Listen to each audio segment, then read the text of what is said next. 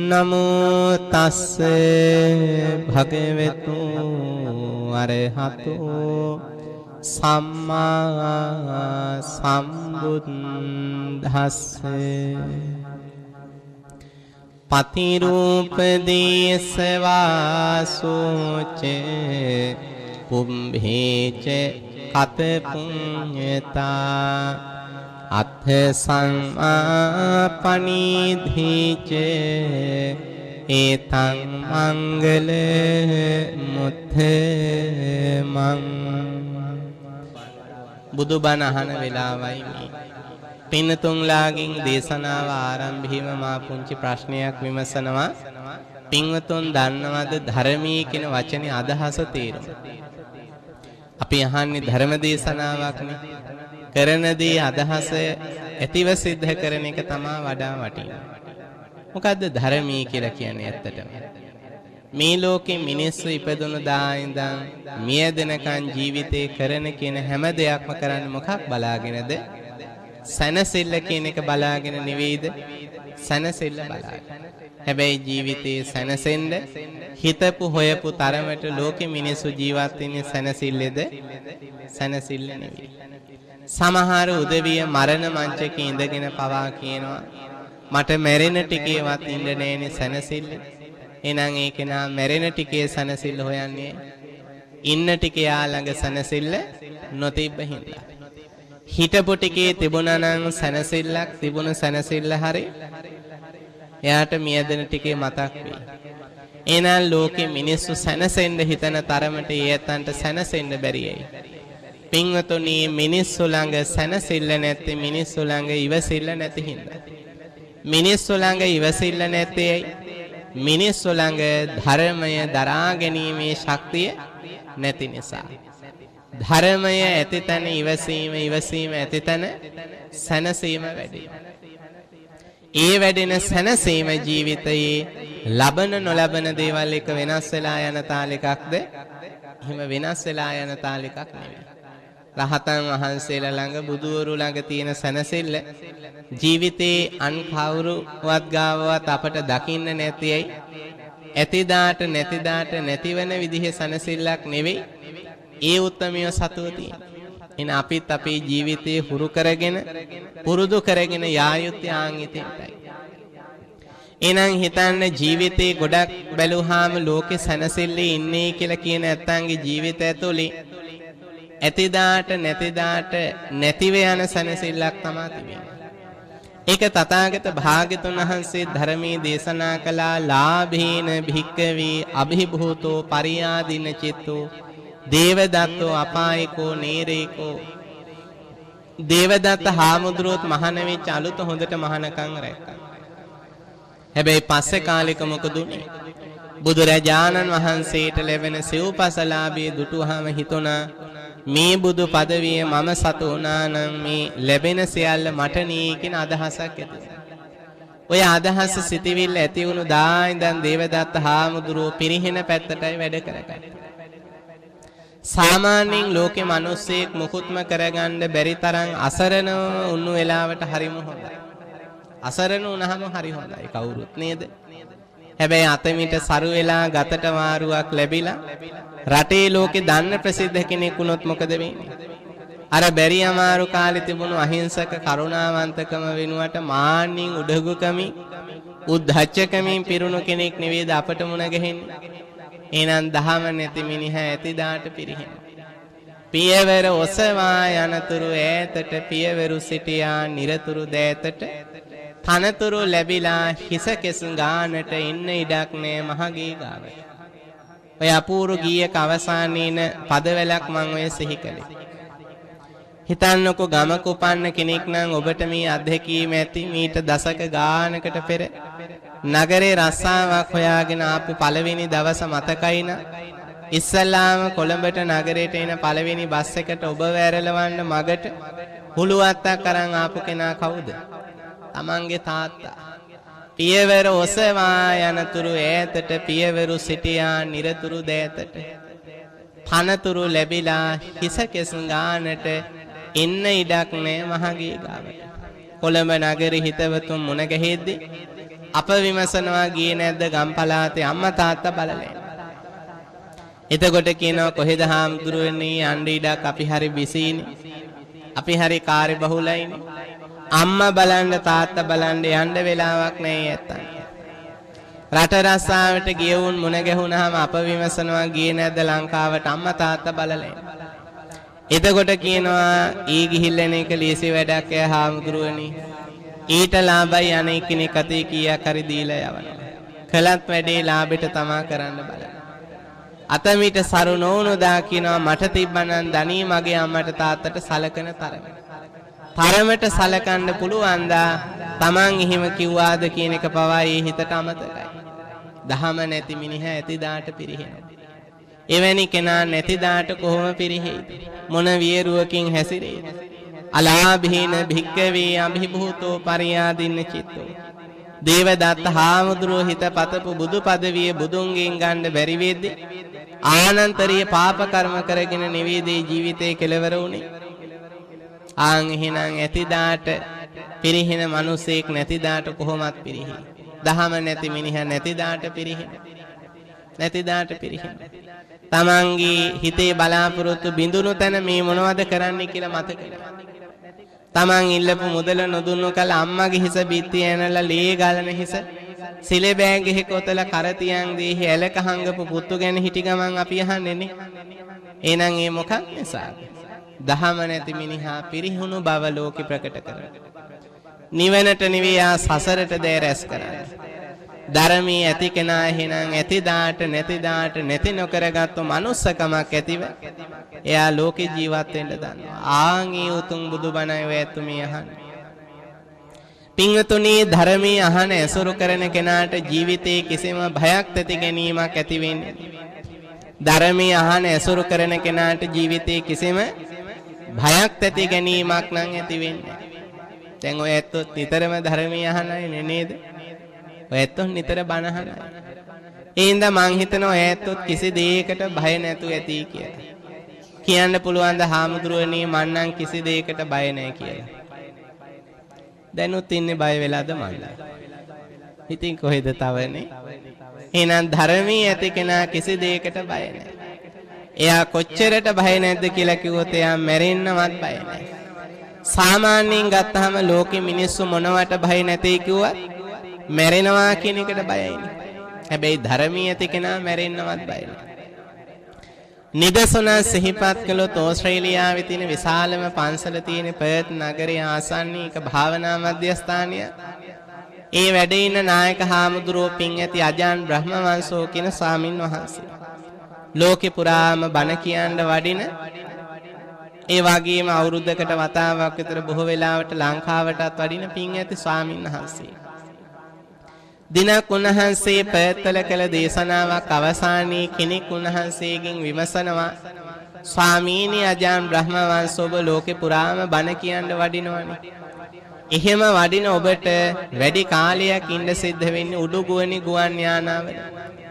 එහෙම වඩිද්දී ඔබ වහන්සේට නිකමටවත් හිතෙන්නේ නැද්ද ගුවන් යානයකට ගොඩ වුණු ත්‍රස්තවාදී කිහිමෙහි බෝම්බයක් එහෙම තියලා යන උඩුගුවනි මේ පුපුරවා හරිවි කියලා. ස්වාමීනි මට නම් ගුවන් යානයකට ගොඩ වුණු වෙලේ ඉඳන් හිතනවා මේකට ගොඩ වුණු ත්‍රස්තවාදීක් මෙහි බෝම්බයක් තියලා උඩු ගුවනේම මේ පුපුරවා හරීවි. ඒ නිසා ගොඩ වුණත් ගුවන් යානයකට කොයි වෙලේද ගොඩ බාන්නේ කියන හිතේ බයෙන් තමා මන්නම් ඉන්නේ කියලා මේ ඇත්ත කිව්වා. සාමාන්‍යයෙන් ඔය ගොඩක් දිනේ ගුවන් යානාවල යන්න ආසා වුමනා තිබ්බට ඉන්නේ ගොඩ වුණු වෙලේ ඉඳන් බයි. ඉන්නේ ගොඩ වුණු වෙලේ ඉඳන් බයි. සමහරක් වෙලාවට අප උනන් neත ගැටුණු වාර තියෙනවා. ගුවන් යානේ යන්න පටන් ගත්තාම සමහර ලංකාවේ අම්මලා එහෙම හිටියෝ පටන් ගන්නවා හයියෙන් පිරිත් කියන්න. ටිකක් පිරිත් කියන්න ඇරලා ළඟට ගිහිල්ලා අහනවා මොකෝ ආමේ හදිසියෙම පිරිත් කියන්න ගත්තේ. අනේ හාඳුරනේ මේක කඩා හැලුනොත් එහෙම ඒක නවතීද බලන්න පිරිත් ටිකක්වත් කියන්න ගත්තා. ඔහොම උත්තර ලැබෙන වාරක් තියෙනවා. ඉතින් මේ ඇත්තත් හදාගෙන හිටියා බියක් බෝම්බ බියක්. තමන්ට වඩා වැඩිපුර ගුවන් යානාවල වඩින ස්වාමීන් වහන්සේගෙන් ඇහුවා ඔබ වහන්සේට එහෙම හිතෙන්නේ නැද්ද? එතකොට උන්වහන්සේ කිව්වා මටත් එහෙම හිතෙන වෙලාවල් නම් තියෙනවා. හැබැයි ඉතින් මට හිතුනහම නම් ඔබට හිතුනහම ඇති වෙන බිය චකිතේ නෙවෙයි මගේ හිතේ උපදින්නේ අප්‍රමාණ සතුටක්. එහෙම වෙලා උඩුගෝනේ මට මියදෙන්න ලැබෙනවා නම් මං හරි සතුටු වෙනවා. එක හේතුවක් නිසා නෙවෙයි සතුටු වෙන්නේ හේතු තුනක් නිසා. පළවෙනි හේතුව. මම යන උඩු ගුවන් යානේ උඩුගුවනේ පිපිරිලා විනාශ වෙලා එහිඳ මා මියදුනොත් මට සතුටු වෙන්න පුළුවන් එහෙම වුණොත් මගේ අවසන් කටයුතු සඳහා කීයක්වත්ම වියදම් වෙන්නේ නෑනේ කියලා. මොකද උඩහා ඉඳන් පල්ලෙහාට එන ටිකට නොමිලෙම ආදාහන පූජෝත්සවය සිද්ධ වෙනවා. ඒ හින්දා. දෙවැනි කාරණා උන්වහන්සේ කියනවා එහෙම වුණොත් ඔය යානෙ ගියපු මගින් සියල්ල මිය ගියොත් එයාලගේ ජීවත් වෙන ඥාතීන්ට ගුවන් සමාගමේ ලොකු වන්දි මුදලක් ගෙවයි. මං වෙනුවෙන් වෙන් වුණු මුදල අපේ ආරාමේ ඉන්න අයට ගෙනහිල්ලා දෙයි. සාමාන්‍යයෙන් ගුවන් අනතුරකින් මියදෙන කෙනෙකුට ලොකු ගාණක් ගෙවනවා. එතකොට උන්වහන්සේ කියන මං වෙනුවෙන් වෙන් වුණු මුදල අපේ ආරාමේ ඉන්න අයට ගෙනහිල්ලා දෙයි. ආරාමේ ඉන්න අයට ඒ මුදල ලැබුණාම එයාලා කියාවි අනේ බ්‍රහ්ම වංශෝ හාමුදුරුවෝ. ඉඳලා ඉඳලා අපවත් වෙන්න උඩු ගොයනමම තෝරගත් එකම තමා හොඳ කියලා ඒ කවුරුත් කියයි. ඔය ඇත්තෝ අපි වුණත් මිය ගියොත් ගෙදර ඇයට කෝටි 4 5ක මුදලක් එහෙම හම්බ වුණොත් මරණයත් එක්කම අනේ මැරුණු එකම හොඳා කියයි නේද? කලින් උනා නම් උඩ තට්ටුව නග ගන්න තිබ්බා කියලා හරි කියයි. අල්ලපු ඉඩම් කෑල්ල හරි ගන්න තිබ්බා කියලා හරි කියයි. සාමාන්‍ය වැඩි ගාණක් හම්බෙන හැටියට මිය දෙනවට කවුරුත් කැමති. මේ ළඟදී එක මලගමකට මං සම්බන්ධ වුණ අම්මා කෙනෙක් මිය ගිහිල්ලා. එක පුතෙකුගේ නිවසේ තිබ්බ මිනිහ පහවදා දැනගත්ත අනික් පුතාගේ ගෙදරට අනික් ගමට ගෙනියපු බව. මං ඉතින් හිතුවා ඒ ගමේ ඉන්න අයටත් වැඩිපුර අවසන් ගරු බුහුමන් දක්වන්න ඉඩ හදන්න ඕනකමට මේක කරන්න ඇති. නැත්තම් ඉතින් ඒ සුසාන භූමියේ මේ ගමේ ඉඩමදි හින්දා අනෙක් ගමේ සොසාන භූමිය ඇති වැඩි ඉඩ ගැන සලකලා එහෙම කරන්න ඇති කියලා හිතුවා. පස්සේ දැනගත්තේ කාරණා දෙක හින්දම නෙවෙයි වැඩේ වෙලා තියෙන්නේ. මොකක්ින්දද? අර මේ ගමේ පුතාගේ ගෙදර අම්මගේ දේහේ තියාගත්තාම ඒ ගමේ මරණාධාර සමිතියෙන් ගාන හම්බෙනවා. අර පුතාගේ ගෙදර ගෙනහිල්ලා දේහේ තිබ්බොලු ඒ ගමේ මරණාධාර සමිතියෙන් ගෙවන්නේ ඒ පුතාට. අර සමිතියෙන් ගාන ගන්න. එහෙනම් ඉතින් අර වගේ ලොකු ගාණක් හම්බ වුණොත් එහෙමනේ. හත් දවසේ දාන දෙකක්වත් දෙයිනේ. එහෙනම් බැලුවා ඕක දන්න බ්‍රහ්ම වංශෝ හාඳුරු කිව්වා ඉන්න ගොඩක් අය සතුටු කරන්නත් ලැබෙන නිසා මං හරි කැමති මේ පිළිවෙලට අපවත් තුන්වෙනි කාරණා උන්වහන්සේ කියන එහෙම වුණොත් ඒ අපවත් වීම සිද්ධ වෙන්නේ අඩි 30000කට වඩා උඩින් යන වෙලාව. අඩි 30000කට වඩා උඩහදි මිනිස්සෙකුට මියදෙන්න ලැබෙනවා නම් බොහොම කලාතුරකින් ඒ කලාතුරකින් ලැබෙන අවස්ථාව මට ලැබුණා. මට එහි උපරිම ප්‍රයෝජනෙ ගන්නවා මම නම්. මොකද එතන ඉඳන් දිව්‍ය ලෝකෙට වැඩි දුරක් මං කරන්නේ එතනින්ම දිව්‍ය ලෝකේ වඩින එකයි කියලා උන්වහන්සේ කිව්වා. එතන ඉඳන් ළඟ ඇතිනේ.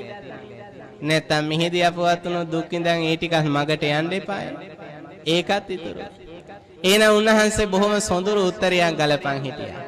ආන් දහම ඇති උදවියගේ ඇති වෙනස ඒකයි. ධර්මී නැති කෙනා අද මැරෙයිද හෙට මැරෙයිද මොකක් වෙලා මොන තැනක මම් මැරෙයිදෝ කියලා විඳවද්දී දහම ඇති කෙනාට වැදගත් වෙන්නේ මැරෙන මොහොත නෙවෙයි.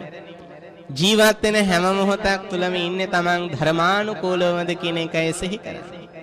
කුඩයක් අතතිව මහ මගට බහිනා කල අතරමඟ මහ වැස්සක් ඇදහැළුණොත් අනුන් තෙමුණත් මට නොතෙමී යන්න පුළුවන් නේ කියලා ඒ කෙනා සතුටු වෙන්නසේ උන්නු කාලේ ධර්මයේ පුරුදු කරපු බුදුරජාණන් වහන්සේගේ ශ්‍රාවකයා. මරණී ළඟවත් පැකිලීමක් බියක් තැති ගැනීමක් නම් ඇති කරගන්නේ නැහැ. එහෙනම් දහම එක්ක හැසිරෙන ජීවත් වෙන කෙනාට ජීවිතේ බියසක දුරු කරවාගෙන ඊටාම සැනසෙල්ලෙන් යුතුව ලද ජීවිතේ ගෙවන්න ගත කරන්න පුළුවන්. එහෙනම් ඔයත් හිතන්න කේම අපපටි බය හිතේ නිදහස් භාවයේ බිය රහිත භාවයේ මේ තථාගත බුදුරජාණන් වහන්සේගේ දහම තුලින් අපට ඇති කරනවා.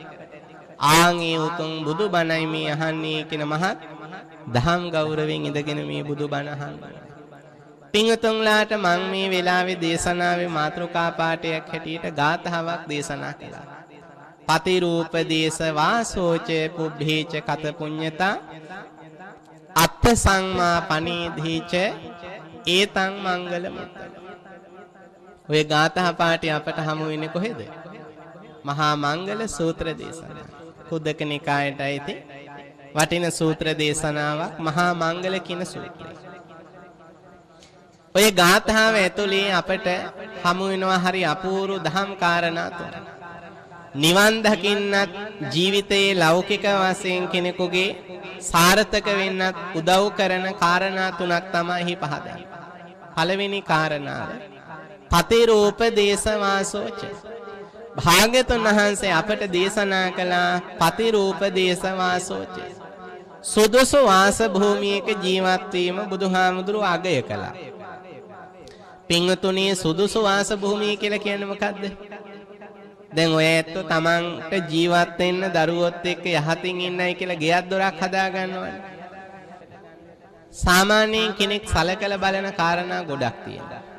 එකක් තමයි ඊඩමට නිවසට යන්න निराවුල් පාරක් තියද කියලා බලන්න. ඒක කාපට් අතුරපු කොන්ක්‍රීට් අතුරපු එකක් නම් වැඩි සතුටුයි. වැඩි සතුටුයි.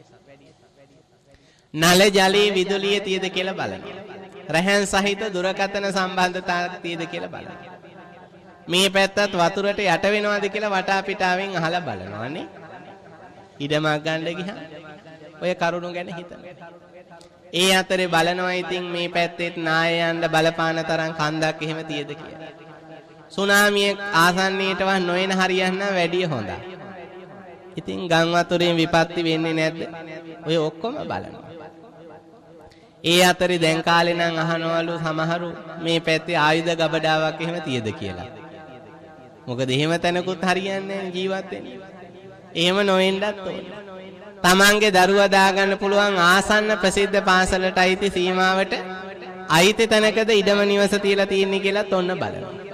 ඉතින් ඔය ඔක්කොම සලකලා බලලා හිතනද තමන් ඉඩමක් ගත්ත හැම නැත්තම් හැදුව නිවසක් මිලට ගත්තා. එහෙනම් බුදුහාමුදුරුවෝ පතිරූප දේශ වාසෝචය කියලා දේශනා කළේ ඔය කාරණා සියල්ලට ගැලපෙන පෑහෙන තැනක්ද? එහෙම කාරණා ගැන සලකන එක නරක නෑ ධර්මීයට පටහැනි නෑ. හැබැයි බුදුහාමුදුරුව අපට ධර්මයේ දේශනා කළේ එවැනි පරිසරයක් ගැන නෙවෙයි. එහෙනම් ධර්මයේ විස්තර කරන්නේ පතිරූපදේශ වාසෝචය කියලා බුදුරජාණන් වහන්සේගේ ධර්මයේ ඇසුරු කරන්න පුළුවන් පරිසරය. එන ආරාමයක් ආරණ්‍යයක් විහාරස්ථානයක් ආශ්‍රිත වන ආන් තමන් තමන්ගේ නිවස තනාගෙන තිබෙන්නේ ඒක බුදුරජාණන් වහන්සේ සුදුසු වාස භූමියක් හැටියට අගය කළා. ඒක අටුවාවේ විස්තර කරනවා කොහොමද? බරණැස ඒ ඉසිපතනාරාම භූමිය ඇසුර ඒ වාගේම බුද්ධ ගයා භූමිය ඒ වාගේම සවැත් නුවර දෙවුරම් විහෙර වගේ තැනක ඇසුර ලබන්න කෙනෙකුට වාසනාවක් ලබනවා නම් ඒක ජීවිතේ මහ පිනක්. ඒක මහා භාග්‍යයක් පින්වතුනි. අදටත් පින්වතුනි බුද්ධ ගයාව පිහිටි භූමිය බොහොම සොඳුරු තැනක්. උදගයාව ආශ්‍රිත වෙන්න අය බොහොම සෞම්‍ය සිසිල් හිත් තියෙන අය අපට හමු වෙනවා. අපි මේ පිංබිමකින් අපිට උදේ හවහ ලෝතුරු බුදු ගුණය මතක් වෙන පරිසර neත ගැටෙන පරිසරයක අපි මේ ජීවත් මේක වාසනාවන්ත පරිසරයක්. අපේ රටේ ඉන්න මිනිස්සු ලෝකේ සැප විඳින්න ගියා. ආ ලංකාවේ සබාදහම පරිසරය ඇති තැම ගිහිල්ලා එහෙත් හොයන්නේ හොයනවා. ඒ ගියත් හොයන්නේ ඒ රටක ගිහිල්ලා මේ සබාදහම මේ විදිහට ජීවත් වෙන්න. අපේ පන්සල් හදාගෙන ඉන්න බලන්න. යා යමුතුවෙන් ඒක වෙන්න ඕනයි මේ තියෙන ඔක්කොම නැති කරගෙන ආය අලුතෙන් පටන් ගන්න ඕනනේ. අපිට තියෙනවා මේ වාසනාවනේ.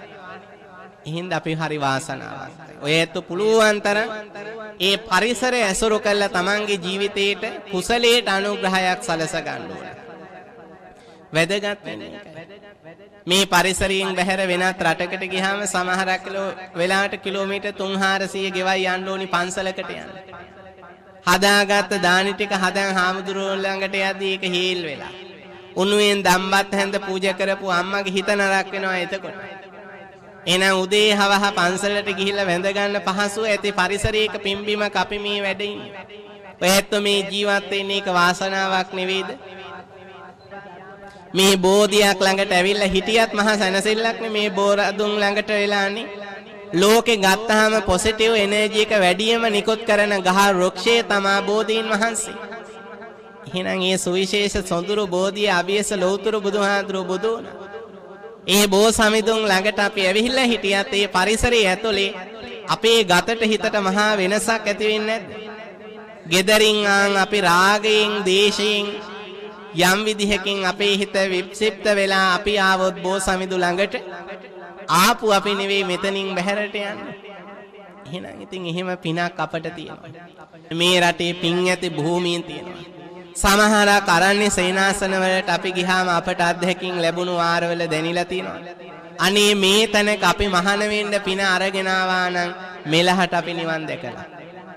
ඒ තැන්වල ඉන්න යෝගාවචර ස්වාමීන් වහන්සේලා ඒ තැන්වල තියෙන සබාධමත් එක්ක ඒ විශ්ව න්‍යායට බැඳී ඒ බුදුහාඳුරන්ගේ බුද්ධ වචනේ ප්‍රායෝගිකව වඩන හැටි දුටුවාම අපට හිතෙනවා නිවන් දකින්නවා කියන එක නම් ඒකයි. අර මීතිරිගල නිස්සරණ වනේ වගේ තැනකට ගිහිල්ලා බලන්න හැඟි ආන් ඒ තැනක හිටියොත් අපට භාවනා කරගෙන දිගට ජීවිතේ ගෙවන්න අපි පුහුණු කරගත්තොත් අපට නිවන් දකින්න පුළුවන්. ඒ තරම් සොඳුරු පරිසර අපිට තියෙන. ඒ වාසනාව අපි අරන් ඇවිත් විදේශිකයෝ එනවා ලංකාවට. එයාලා සමහරක් වෙලාට දින 10 12 රිට්‍රීට් වලට භාවනා වැඩසටහන් වලට සම්බන්ධ වෙලා ඉඳලා යන්නේ. එහෙනම් අපි ඉන්නේ මේ උතුම් බිමේ මේ බිමේ තියෙන වටිනකම තේරුම් ගන්න. ඒ හින්දා බුදුහාඳුරන්ගේ ධාතුන් වහන්සේලා වැඩියෙන්ම ලෝකේ වැඩ ඉන්න බිමේ අපි මේ ඉන්නේ. ඒ තැනකට ගිහිල්ලා වන්දනා කර ගැනීම ඇතුළෙම චිත්ත ප්‍රසාදමේ කුසල හිත ඔයයන්ට ඇති කරගන්න පුළුවන්. එහෙනම් බුදුහාමුදුරුවෝ ගැන මතක් කරගන්න පුළුවන් මේ පරිසරයකට ගියාම බුදු ගුණ නිතනින් අපට සිහි වෙනවා. ඒ සිහියෙන් අපි මැරුණොත් පින්වතුනි ආයේ අපි දුගතියකට නම් යන්නේ නැහැ සුගතියකටමයි යන්නේ. චිත්ත ප්‍රසාදමේ කුසල හිත ඇති කරගත්තොත් එහෙනම් මේ පරිසර ඇතුලේ අපි ඉන්න තරමට අපිට ලෞතර බුදුහාමුදුරුවෝ කෙරෙහි චිත්ත ප්‍රසාදමේ කුසල චෛතසිකේ වැඩෙනවා. ආන් ඒ වඩව ගන්න හොඳම තැන තමයි මෙවැනි විහෙර විහාරස්ථාන කුදබින් ඇසුරේ ඉන්න වැඩි කාලයක් අපිව පුරුදු කරගන්න එක. එහෙනම් ඔය ඇත්තන්ට වාසනාව පින අරගෙන ආපු පිරිසක්. එහෙනම් බුදුහාඳුරු අපට දේශනා කළා පතිරූප දේශවාසෝ. ඒ සුදුසු වාස භූමිය ඇසුර ලබන්න. දෙවැනි කාරණාව පුබ්බේච කත පුඤ්ඤත. පෙර කරනා ලද පින් ඇති බව. අටුවාව ඕක හරි අපූර්වට විස්තර කරනවා කොහොමද? බුදු පසේ බුදු මහරහත් උත්තමයින්ගෙන් බණහපු අයමයි අදටත් බණහයි. බුදු පසේ බුදු මහරහත් උත්තමයින්ට දන් දුන්නු අයමයි අදටත් දන් දෙන්නේ. බුදු පසේ බුදු මහරහත් උත්තමයෝ ළඟ සිල් ගත්තු අයමයි අදට සිල් එහෙනම් පිනක් කරන්නත් පිනක් තියෙනවා. ඉඳ ඉඳ එක මෙහෙර විඳ විඳ දහම් මනහර සිඳ බිඳ දුක් සසර අනේ දෙව්දත් නොදිටි මොක්කුර. එහෙනම් බැලුවාම දේවදත්ත හාමුදුරුවෝ මේ ලෝකෙ පින් ඇතිම භූමියේ දෙවුරම් වෙහෙර. දෙව්ලව ඉන්න දෙවියන්ට අහසේ ඉඳන් බැලුවාම ආන් දෙව්ලව තියෙන සක්දෙව්දුගේ භවන වගේ කියන ඔය බුදුහාඳුරුවන් වැඩ වුණු ආරාමේ දෙවුරම් විහෙර පෙවුනේ. අනේ පිළිසිටුමාගේ අදහස වෙලා තිබුණෙත් ඒක. අනේ පිළිසිටුමාගේ අදහස තිබුණේ සක්‍ර දෙවියන්ගේ වාස භවන වගේ බුදු කුටිය ගන්ධ කුටිය සුවඳ කුටිය හදන්න හැබැයි හදලා ඉවර වෙදී විදිහටම හැදුණා. එහෙනම් හිතන්නේ පුණ්‍ය භූමියේ ඉඳගෙනත් විඳ විඳ දහම් මනහර සිඳ බිඳ දුක් සසර අනේ දෙව්දත් නොදිටි මොක්ති. දේවදත්ත හඳුරෝ නිවන් දැක්කේ නෑ. මගඵල ලැබුවේ නෑ සුගතියටවත් අඩුම ගියේ නෑ. ඇයි මේ දේවදත්ත හාමුදුරුවෝ කෙරෙහි බුදුහාමුදුරුවෝ කරුණාව නොපානි කියලා ආනන්ද හාමුදුරුවෝ වෙනත් භික්ෂුවක් අහපු කාරණාවක් බුදුන්ගෙන් අහද්දි බුදුහාමුදුරුවෝ දේශනා කළේ ආනන්ද දේවදත්තට තරම් පිහිට වෙන්න පුළුවන්ද කියලා වෙන කෙනෙක් ගැන මම බලලා තිබුණේ නෑ. නමුත් මට තේරුණේ උසයට ඉන්න පිරිසිදු ඉන්න මිනිහෙක් අසුචි වලක දාලා ගොඩගත්තොත් එයාගේ ශරීරයේ අසුචි බිඳක් නොතැවරුණු තැන හිසේ කෙස් ගහක අස්ස ලෝමයක් තරමේ හොයාගන්න බැරි වෙන්න වගේ මේ දේවදත්ත සංසාරයේ ධර්මාබෝධයට උදව් වෙන පුංචි පිනක් කරලා තිබුණේ නැහැ. එහෙනම් පැහැදිලිනේ පිනක් ලැබෙන්නත් පිනක් කරන්නත් පිනක් පළ දෙන්නත් පිනක් තියෙන්න ඕන. එහෙනම් ඉතින් හැම කෙනෙකුටම අපි කොච්චර හිතුවත් දුක් වුණත් කනගාටු වුණත් මේ පින පැත්තට යොදව ගන්න යොමු කරව ගන්න බෑ. බුදු පසේ බුදු මහරහත් උත්තමයින්ගෙන් බණහපු අයම අදටත් බණහ. හැමෝම එනවද බණහන්න මේ කොච්චර ප්‍රචාරය කළත් දැනුවත් කළත් එනවද? ඔය ඇත්තෝ එන අතරේ මගේ අනේ යන් අන්න අද අහවල් හාමුදුරුව වඩිනවා බණට යමුයි කිව්වා සමහරු. ආ හේතු කියලා මග හරින්නේ නැද්ද? මග හරින්න. ඒ හේතුව තමා සංසාරේ ඒ පින කරගත්තු කෙනෙකුටමයි මේ ජීවිතේත් ඒ පින කරගන්න හිතෙන්නේ. ලංකා පුරා බණ දහම් කියන්න වඩිනවනේ. ඒ වඩින හැම අප ඔය තියෙන සියලුම ප්‍රකට බණ මාලාවන් වල අවුරුද්දක් පාසා අපට බණක් වෙන් වෙනවා. වෙන් වුණාම අපි දකින්නේ හැමදාම හැම අවුරුද්දෙම බණහඬින මූණු ටික තමයි ඉන්නේ. ඒ මොකද? සංසාරේ බුදුපසේ බුදුමහරහත් උත්තමයේ ළඟ බණහපු අදටත් බණ සංසාරේ බුදුපසේ බුදුමහරහත් උත්තමීන්ට දන් දුන්නු අයමයි අදටත් දන් දෙන්නේ. හැමෝම දන් දෙනවද? දෙන්නේ නැහැ. දෙන්න කැමැත්ත පුරුද්ද හදාගෙන ආපු කෙනා හේතු හදාගෙන හරි දන් දෙනවා. නොදෙන කෙනා හේතු හදාගෙන හරි දීම මග අරින්නේ නැද්ද? දීම මග අරිනවා. අද නම් වැඩට යන්න ඕනි කියලා ඔන්න යනවා. වෙනදට හිතුණු මත හිතු මතේ නිවාඩු ගන්න එක්කෙනා. දානේ දාටම යනවා. බණ දාටම යනවා. එහෙනම් මග අරිනවා. ඒ තමාර සසර හුරුවක් පුරුද්දක් නෑ. ඒ නිසා පිනක් කියන එක කරලා අපිට සසර අත්දැකීමක් තියෙනවා. හැබැයි වැදගත් වෙන්නේ ඒ පින පිනට සාධාරණයක් වෙන විදිහට කරලා පුරුද්දක් ඇති කෙනෙක් වෙන්න ඕන. දැන් සමහරු දන් දෙනවා දුන්නට දෙන්න ඕනි පිළිවෙලට නෙවෙයිනේ දෙන්නේ. සමහරු දෙනවා දෙන්න ඕනි පිළිවෙලට දෙන්නේ. බුදුහාඳුරෝ ධර්මයේ පෙන්නවා එහෙම දෙන්න ඕනි පිළිවෙලට නොදුන්නහම දුන්නකමට හම්බෙනවා හම්බුණාට හම්බ වෙච්ච දෙයාට පාවිච්චි කරන්න හිතෙන්නේ නැහැ. වේදල්ල සූත්‍රයේ දේශනා කළා. පාවිච්චි කරන්න හිතෙන්නේ. දැන් ඔය සමහරක් ඇත්ත සල්ලි භාග හොඳට තියෙනවා. තිබ්බට තියෙන සල්ලියෙන් හරියට කාලෙන්දලවත් ඉන්නවද? ඉන්නේ නැහැ. වැඩිපුරම කන්නේ මොනවද ඒගොල්ලෝ? ෂෝට් ඊට් තමා කන්නේ.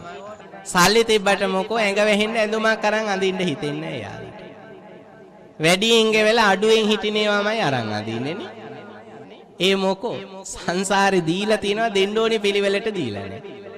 ආන් ඉතින් අඩුවෙන් හිටිනේවාමයි අරන් අඳින්නේ. නැතිකමටද? නැහැ. තිබ්බත් හිතෙන්නේ නැහැ. ඒකයි. යාන වාහන තියෙනවා සමහරුන්ට තිබ්බට තියෙන වාහනේ පාවිච්චි කරන්න හිතෙන්නේ හයියෙන් වැස්සොත් එහෙම සමහර ඉන්නවා මේ වැස්සේ ගිහිල්ලා වාහනේ තෙමන්න ඕනේ කියලා එයා තෙමි තෙමි යනවා. එහෙම ඉන්නවා. තදට අවුව වැටිලා පෑවුවොත් එහෙම ඔන්න කියනවා මේකේ ගිහිල්ලා වාහනේ පේන්ට් එක පුච්චන්න ඕනේ කියලා එයා පිච්චි පිච්චි යනවා. එහෙම ඉන්නවා. ඉතින් වාහනයක් තියෙන ඔය වැස්සෙන් අවුවෙන් රැකිලා යන්නනේ නැගිලා.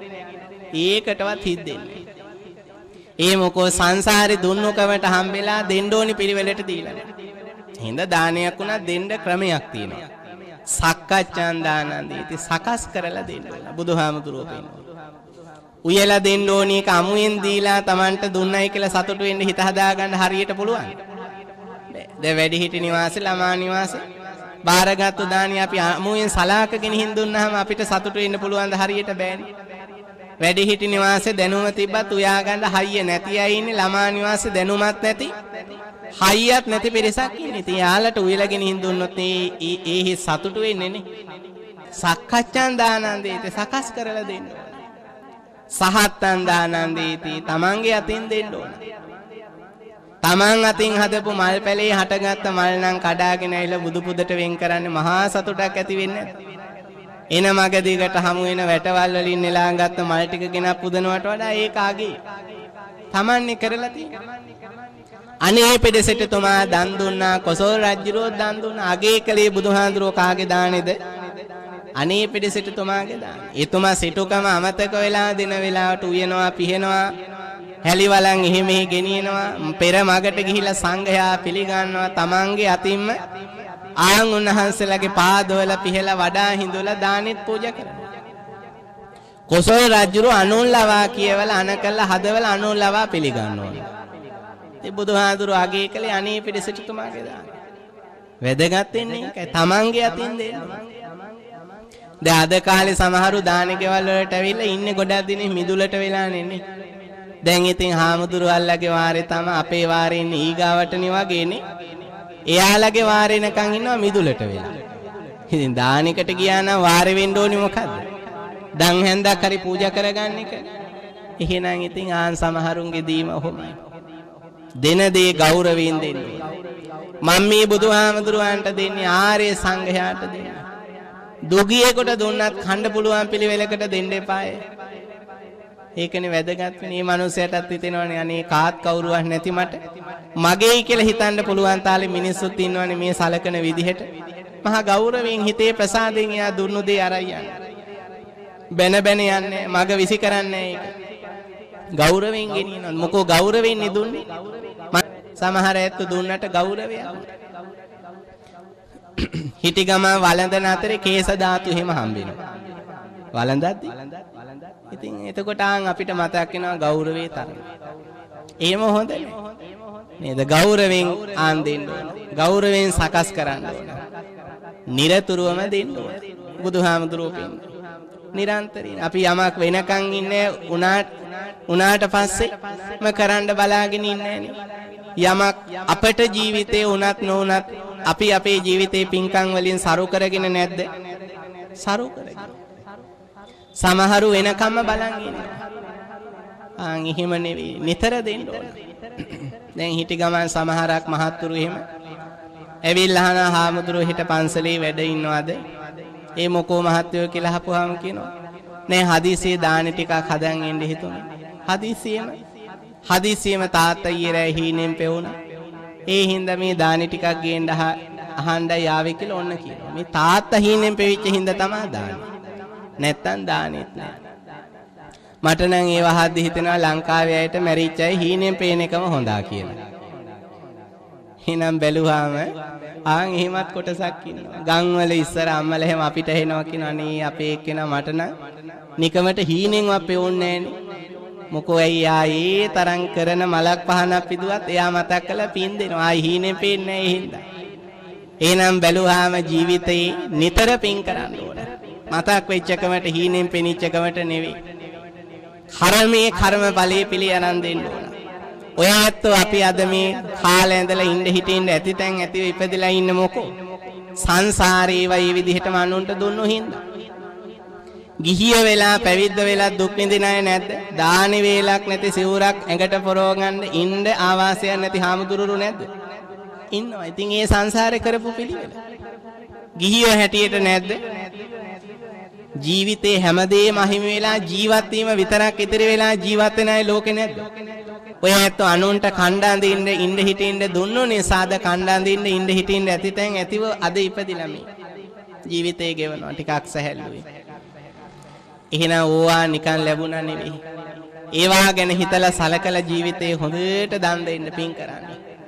බුදුහාමුදුරුව අපිට ඉගැන්වෙන්නේ එහෙමයි. ආන් එහෙම හුරු ඇති අය මේ ජීවිතෙත් අන්න එයා ජීවිතේ පින් කරනවා.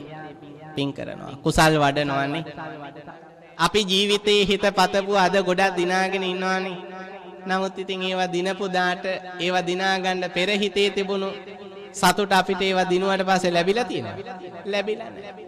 හැබැයි පිනක් කුසලයක් භාවනාවක් කරගෙන නැගිටිද්දි දැනෙන සුවය ආන් ජීවිතේ මොන තරම්ද? එහෙනම් මේ පින වටහාගෙන මේ පුණ්‍ය මාර්ගයටම ඔබ යන්න.